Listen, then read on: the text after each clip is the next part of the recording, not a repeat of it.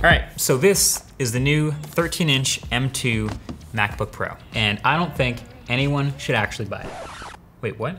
Yeah, no, I think it's a great computer, first of all, don't get me wrong, but with the introduction of the M2 MacBook Air and the existence of the 14 inch M1 Pro MacBook Pro, they've managed to squeeze any reason for this machine to exist at this price to basically zero. Nobody should buy it. Yeah, but nobody?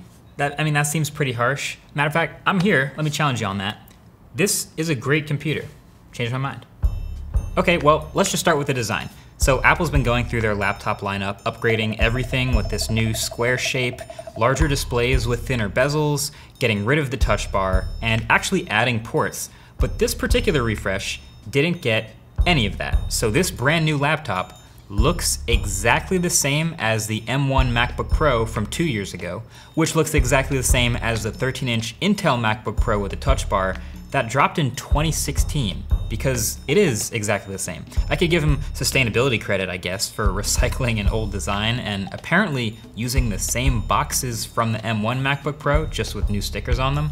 But yeah, this exact shell design is literally six years old and is starting to look kind of out of place now next to Apple's other notebooks. Like, can you imagine any other company trying to reuse a six-year-old design? Like, you trying to tell me a 2016 Asus laptop re-release would fly today? Like a six-year-old XPS drop? Like, that's wild. Yeah, but this isn't that. Like, let me tell you, uh, if it ain't broke, don't fix it. And I'm not just saying that. Like, this is a really good laptop design. All metal jacket, A plus hinge. And let me just remind you, you reviewed it and you loved it. The screen was bright and high resolution, still is. The speakers were best in class, still are. Great trackpad and keyboard. And by the way, some people do really like the touch bar. You said so yourself. It might not do a whole lot, but it still has its few advantages. Okay, but that that is in a vacuum. Like that's the thing. By itself, I would agree with you. This computer is a perfectly good laptop. Buy it.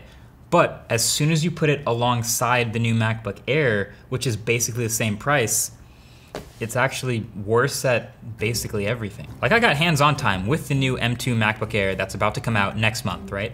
The Air has a larger display with thinner bezels, and in that notch, there's a new 1080p webcam instead of a six-year-old 720p webcam. It has MagSafe with a color matching cable, which enables fast charging and essentially frees up an extra port since that's one more USB-C port that you're not plugged into. And it's all in a package that's thinner, weighs less, and is basically the same price. So why would you buy this MacBook Pro? How is it even Pro anymore? You know what? That's a good question. Why would you buy this Pro?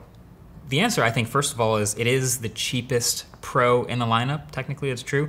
But really, the reason you'd get this over the Air is the thicker chassis supports active cooling, so it's got a fan and all the benefits that come with that. I mean, the benchmarks are in, and to the surprise of absolutely no one, it's pretty clear that this M2 chip is awesome. It's living up to the 10 to 20% better multi-core CPU performance, and even more impressively, the two extra GPU cores over M1 is giving it 30 to 40% better GPU performance, which is basically the only area where you could say M1 was lacking. So this is awesome for any applications that lean on the GPU. Everything's faster, Final Cut is faster, Premiere is faster, any games you might play are all faster, and the cherry on top is it has a dramatically improved media engine, same one from the higher end chips actually.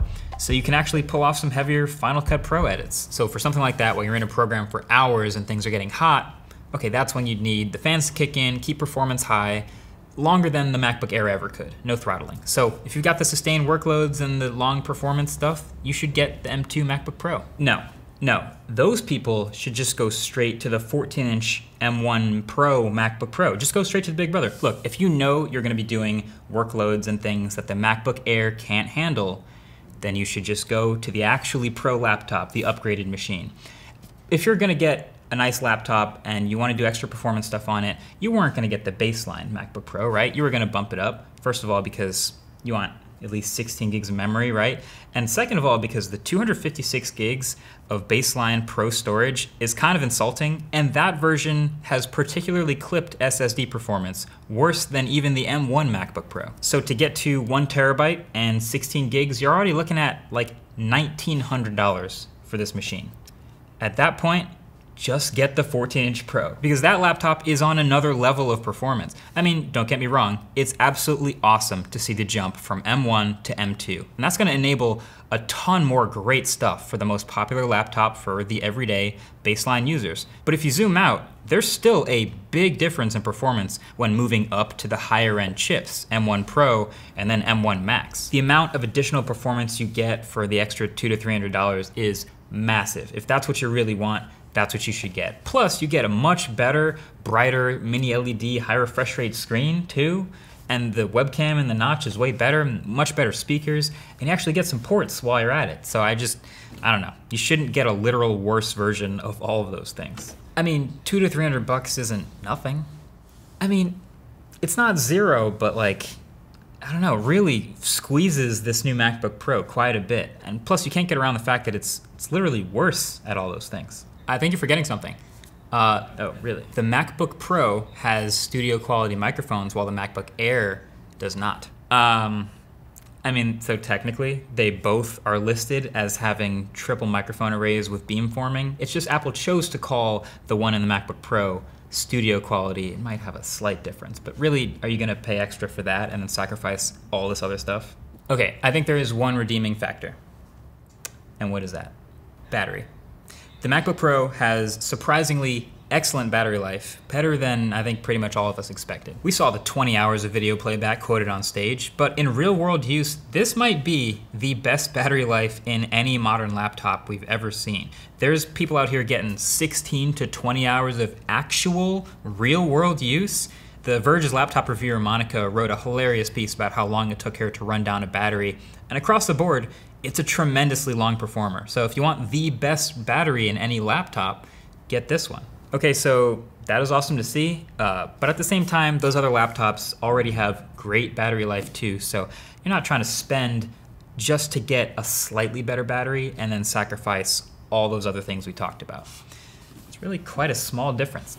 Uh, so, the ideal customer for this new MacBook Pro M2 is somebody who just needs a slightly better sustained performance than the new MacBook Air and is willing to sacrifice screen size, webcam, speakers, ports, thickness, and weight to get it.